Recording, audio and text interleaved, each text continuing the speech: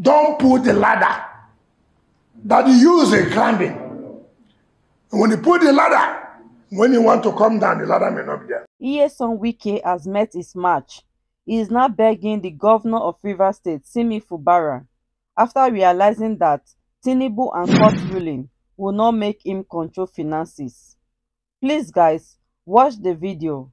Remember to like, share this video and leave your opinion in the comment section below. Thanks for watching. Don't put the ladder that you use in climbing. And when you put the ladder, when you want to come down, the ladder may not be there. For Wike to be talking about the ladder, it means that Sim Fubara has humbled him. He's now begging. He has met his match.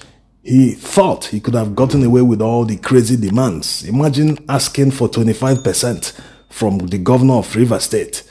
Imagine giving him a condition that he will not be able to approve any contract or anything above 5 million naira as the governor. What audacity! This man had the audacity to say on national television that even if he demands 25% from Sim Fubara that it's all politics. Imagine trying to legitimize robbery in our very own eyes and Nigerians are doing nothing. That's why all these politicians, they get away with anything. Even the judiciary that we are saying that they are more corrupt, they've been waiting for a very corrupt politician that will enable them do whatever they like. Yes, apart from things that passed under the table, there are other motivation for supporting Tinubu and upholding the heist that happened on February 25th. They found a corrupt person in him that will look away, they will do whatever they want without limit. Unlike under Buhari, why Buhari actually arrested some judges was because he knew they were working for PDP. They were in the pockets of PDP politicians. So he felt they would work against him during his re-election. He didn't do it because he wanted to fight corruption. No, no, no, no. Immediately he successfully got them to his side. He looked away. They continued with their corruption. And that corruption has gotten to an alarming level. Imagine a court judgment was leaked on Sunday and people were saying, where did this one come from? It's a rumor. It was forged. But before our very eyes on Monday, a judge announced the same judgment. In politics, there are things you must not do. There are things you must uh, do. This is Wike in 2018 advising the then governor of Lagos State, Ambode, to resist his godfather. Is Wike going to take his own advice now? Because he's obviously trying to become a Tinubu in River State. Tinubu has been successful being a godfather in Lagos State since 1999. The same thing Wike wants to repeat in River State. It has never worked. From Peter Odili to Rotimi Amaechi and to Wike, Wike thinks he can start making money from River State the same way Tinubu makes from Lagos State so that he can use that to fund a future political ambition. But he forgot one thing. He should have done it the same way Tinubu did it.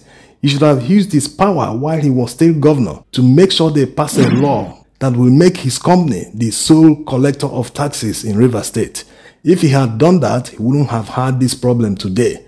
That's by the side, he's now begging Fubara, that's why he took him to Aso Rock so that Tinubu will intervene. But the intervention is very illegal because no political solution can be used to solve a judicial problem. Yes, we know that Nigeria is officially a lawless country. There's no law, justice is for sale, but we'll still continue to talk about the law. We must continue to remind people that these people are doing things illegally. It is not the way things are supposed to be done. When Fubara arrived at Sorok with his delegates, they were told to sign the attendance register they all signed and they entered. Tinubu had a private meeting with him in the presence of Peter Odili. He assured them that Fubara didn't do anything wrong, that he did the right thing. When they came out in the enlarged meeting, he announced the agreement that is floating around on social media right now. They never discussed the agreement with Fubara. They lifted the signature from the attendance register and pasted it on the agreement. You know they are very good in forgery. Even the River State Television has announced that the agreement is null and void, that Fubara wasn't part of it.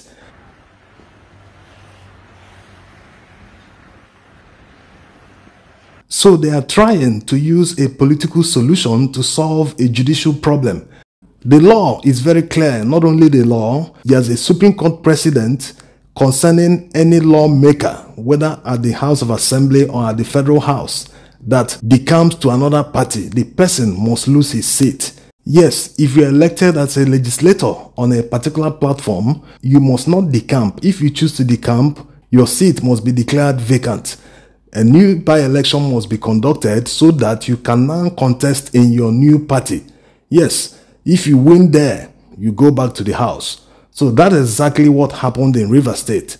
All the lawmakers that decamped to APC, their seats were declared vacant. So INEC is mandated to conduct by-elections so that the seats can be filled by new candidates. This is the position of the law. Fubara has the upper hand here. It will be very naive of him to lose the advantage. So all these the politicians are doing, who will in his right mind as a foreign investor invest in Nigeria at the moment? You can't even uphold your own laws. No president has any power to solve a judicial problem through political means or executive powers. It doesn't exist. If the House members are challenging the declaration of their seats in court, it's only the court that will decide. No political office holder will decide the matter, only the courts. Except they decide to go back to PDP. If they go back to PDP, the party might decide to accept them, and that will be the end of the matter. This is not in any way trying to support anyone. All of them didn't win election in the first place. Even Tinubu didn't win Rivers. Wike lost his polling unit his ward, his local government, and River State. We all know what he did. He rigged everything, and unfortunately, the judges upheld all the heists. So it's not as if they think in the interest of Rivers people. They are only thinking of their own interest. That's why all these lawmakers decamped en masse without even considering the implications that they will lose their own seats because they are following someone blindly, someone that used state money to buy forms for you, gave you money for campaign. You think you owe him anything. This is River State money. Anyway, sometimes when these people do all these sort of things, they take all of us as you can't do anything, we'll do whatever we want, we'll get away with it. It reaches to a level that people can no longer control their anger because we know that it's only a revolution that will stop all this rubbish. Yes, every institution that is supposed to uphold the law in Nigeria to make sure the pillars of democracy are still standing, they've all been bought. We've seen successors turn against their predecessors in politics. Yes, yeah. Would you be worried if that happens to you? Why?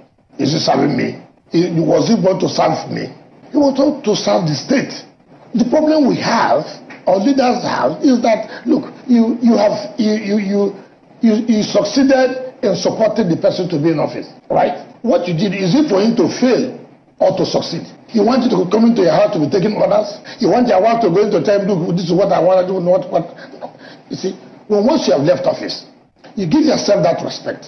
The impunity is just too much to show you that these judges are highly corrupt. Is it Tinubu that told the CJN to appoint his relatives into positions that is unethical for him to do that? No, it's simply because he's very corrupt. They've seen the opportunity to live the kind of life they want, put judgment for sale to the highest bidder. Whatever you want, whatever you wish, they will give it to you. They will grant whatever injunction, whatever motion they will give it to you is for sale.